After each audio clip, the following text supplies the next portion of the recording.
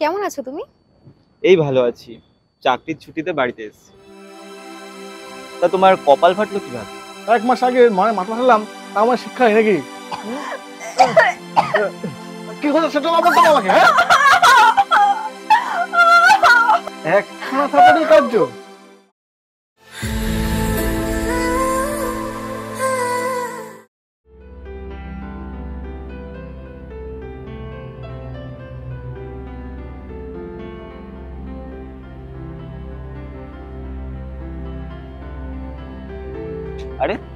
সম্পাদি না?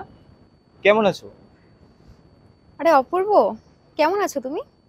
এই ভালো আছি। চাকরির ছুটিতে বাড়িতে এসেছি। ও। তা তোমার কপাল ফাটলো কীভাবে? আর বলো না দুঃখের কথা। কি আর বলি? কেন? কি হয়েছে? আর বলো না এসব আমার স্বামীর কাজ। জ্বালাতন অত্যাচার। কি হলো? সামান্য চা দিদি এত দেরি? এক মাস আগে মানে মাথা ফেললাম তা আমার শিক্ষা হয় নাকি? আসলে অন্য একটা কাজ করছিলাম। চাটা খেয়ে কাটো রাখব কোথায়? প্লেট কে দেবে? আচ্ছা আমি নিয়ে আসছি। পুষ পুশ করে কাপ না? এই মাথায় নিয়ে বসে থাকব আমি? ভাত ধরে দাঁড়িয়ে থাকব করে? ঠিক আছে ওটা আমাকে দাও। তুমি চায় কাপ নিয়ে যাবে প্লেট নেবে আবার নিয়ে আসবে। ততক্ষণে চা ঠান্ডা যাবে না? ঠিক আছে আমি গরম করে নিয়ে আসব। গরম? যাও না। চা দুবার গরম করে সেটা বিশেষ সমতুল্য হয়। তো ডাইরেক্ট বীজ দাও না বীজ দিয়ে মেরে ফেলো আমাকে ঠিক আছে আমি নতুন করে চা বানিয়ে নিয়ে আসছি। নতুন করে মানে? আমার বাবা কি চায়ের দোকান আছে নাকি? না ফ্যাক্টরি আছে? নতুন করে তুমি চা বানিয়ে আনবে আবার? তাহলে আমি কি করব? কি হলো? সেটা আবার আমাকে হ্যাঁ? এক খানা থাকারই কার্য হ্যাঁ, আর যদি পারো না পারো। বলো কাঁদতে বলো। ঠিক আছে তুমি কাঁদো? আর তোমাকে।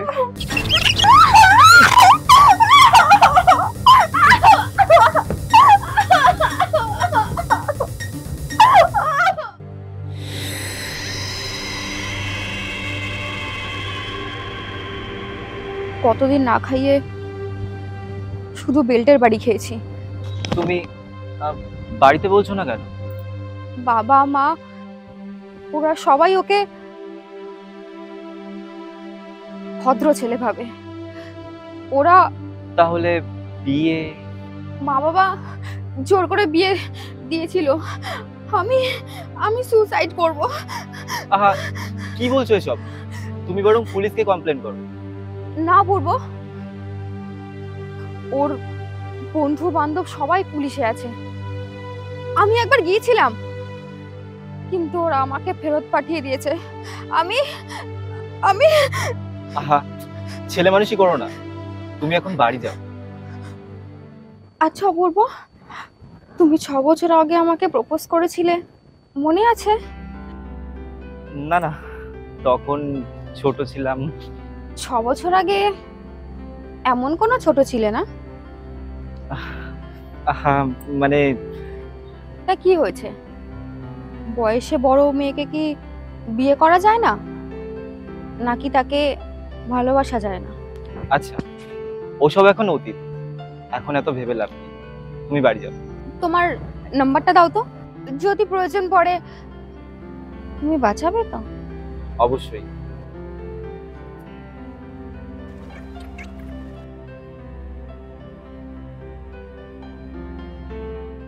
দেখ কেমন লাগে দেখ দেখ কেমন লাগে, দেখ।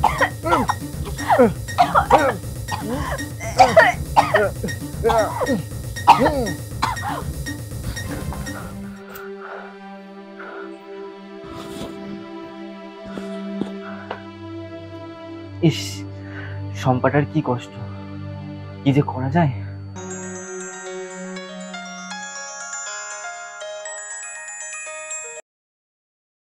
হ্যালো? অপূর্ব! অপূর্ব! তুমি তাড়াতাড়ি আমার বাড়িতে এসো। তুমি আমাকে বাঁচাও। ও আমাকে মারতে মারতে না হলে মেরেই ফেলবে।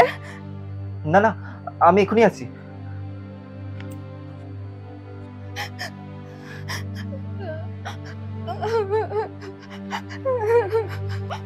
চম্পা? চম্পা? চম্পা?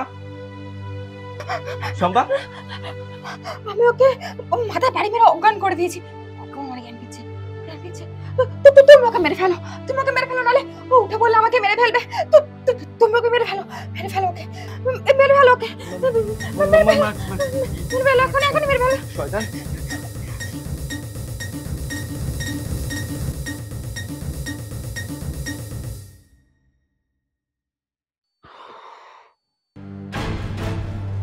এ কি? তুমি ভিডিও করলে নাকি?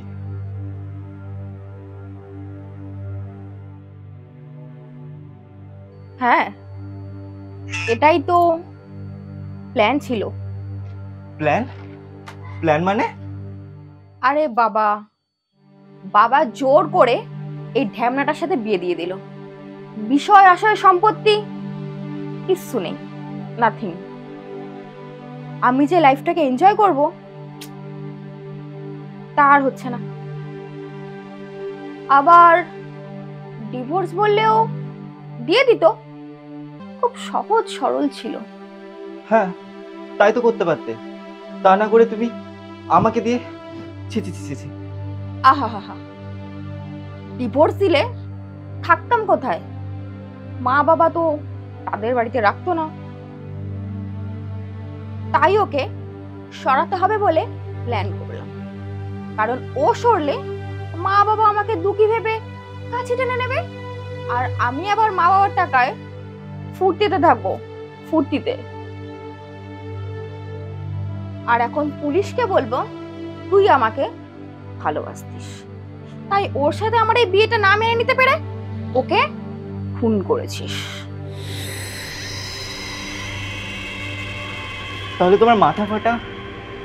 এগুলো কি? এটা তো নাটক ছিল। এই বাড়ির কাজ চিপতে গিয়ে ধপাস করে পড়ে গেছে। ছি তোমার লজ্জা করে না? এইভাবে মানুষের ভালোবাসা সুখ শান্তি এগুলো নিয়ে তুমি ছিনিমিনি খেললে? তোমাকে আমি একশো নাম্বার ডায়াল করে এই ভিডিওটা পাঠিয়ে রেখেছি। বাঁচতে চাও তো পালাও।